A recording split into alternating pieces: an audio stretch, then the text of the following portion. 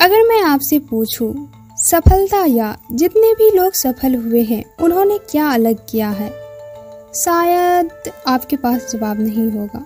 मेरे पास भी नहीं है। चले इस कहानी से जानते हैं। एक अमीर बिजनेसमैन था, जिनका नाम धनराज था। उनका एक बेटा था, जिनका नाम मनराज था। मनराज बहुत ही आलसी और कामचोर इंसान था, जिसके वजह से धनराज काफ़ी दुखी रहता था।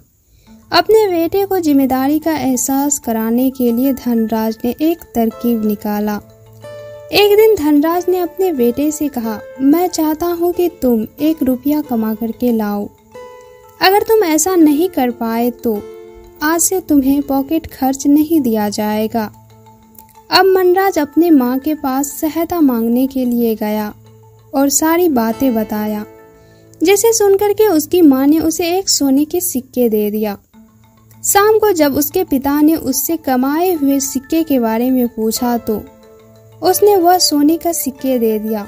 फिर धनराज ने कहा, यह सिक्के कुएँ में फेंक दो।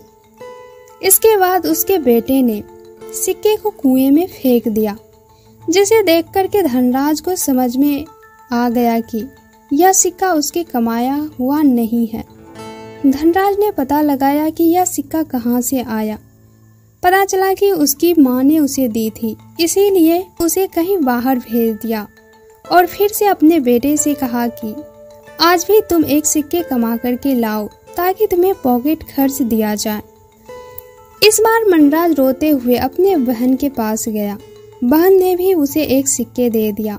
शाम को जब पिता ने वापस से पूछा तो मनराज ने वही सिक्के थमा दिया। इस बार फिर से धनराज ने कहा इस सिक्के को कुएँ में फेंक दो।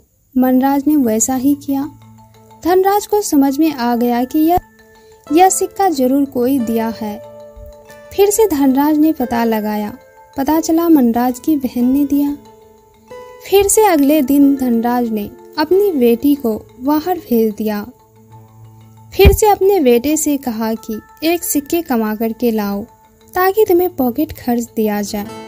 अब मनराज के पास पैसे देने के लिए कोई नहीं था।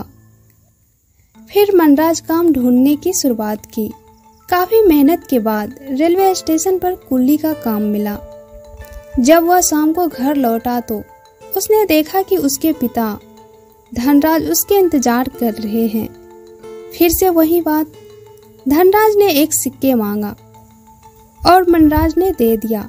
इस बार धनराज ने अपने बेटे को सिक्के कुएँ में फेंकने के लिए नहीं कहा। इस बार उसने खुद जाकर के सिक्के गिराया, जिसे देख कर के मनराज ने ज़ोर से चिल्लाया। आपने ये क्या किया?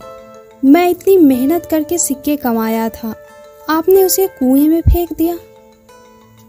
अब तक में आपको पता चल गया होगा, सफलता का, या जितने भी लोग सफल हुए हैं उन्हें एक, सिर्फ़ एक चीज़ अलग किया है, वो है कड़ी मेहनत। आपकी कड़ी मेहनत ही आपको सफल बनाती है।